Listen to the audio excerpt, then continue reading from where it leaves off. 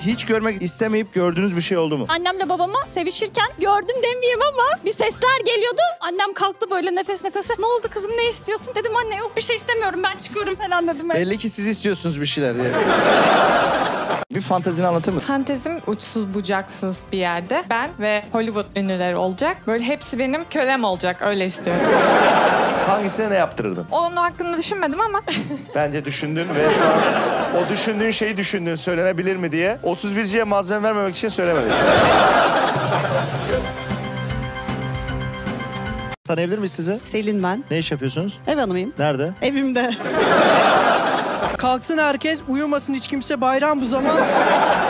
Tek kalmasın hiç kimse, herkes öpüşsün bugün seyran.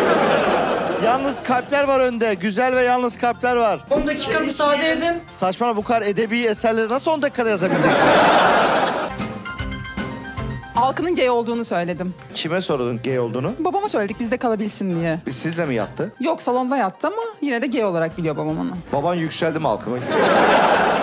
Babamın yükselme devri çoktan bitti bence. Oo, babana şu an minnoş demen de prenses babaya selam yolluyoruz. Kendinizde en beğendiğiniz yeriniz Memelerim. nerede?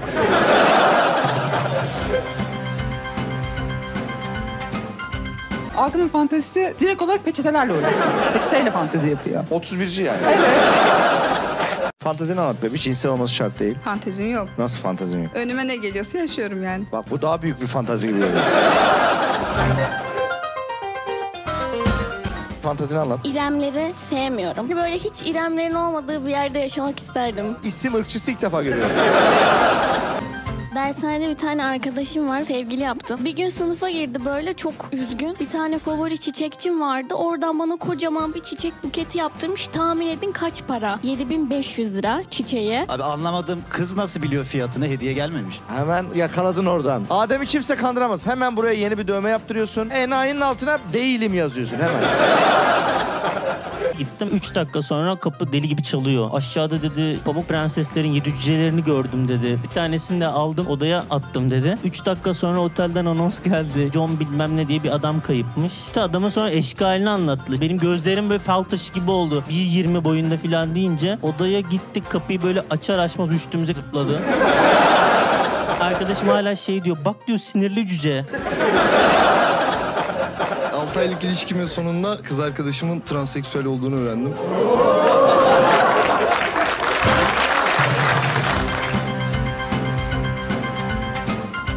Birine yanlışlıkla gönderdiğin en utanç verici mesaj. Çok açık saçık bir mesaj yazmıştım. Erotik. Sevgilimi atacağıma amcama gitti.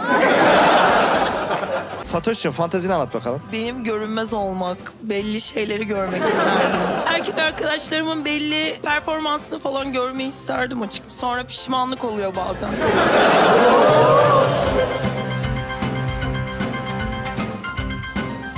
Kandırıyorlar beni. Ne yapıyorlar mesela? Birini beğeniyorum. Bu kişi erkek oluyor. Aa. ya da 6 ay sonra erkek olmadığını anlıyorsun.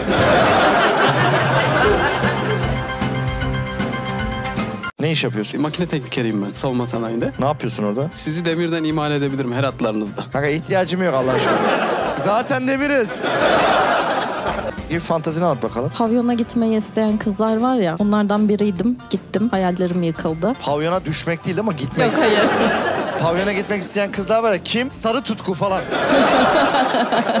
Bir tane çok aşık olduğum çok yakışıklı bir delikanlı vardı. Bu aşık olduğum adamın da durumu çok kötü. Benden borç istedi. Ben de çok sevdiğim için ve evlilik vaadi olduğu için bütün paramı ona verdim. Kayseri'ye kampa gittim. 20 gün 21 gün sevgilimi görmedim. Eve geldim bir baktım ki benim sevgilim nişanlanmış. Hem de Nagihan'ın parasıyla. Hem de benim paramla. Adama yuvasını yaptın yani.